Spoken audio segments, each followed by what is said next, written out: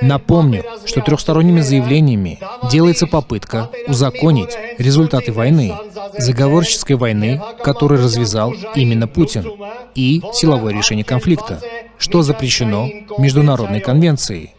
Следовательно, на Южном Кавказе Путин совершил и продолжает совершать еще одно военное преступление.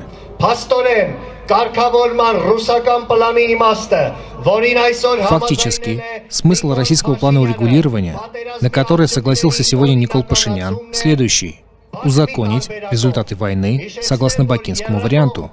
Напомню, что в трехсторонних заявлениях не отмечается статус Арцаха.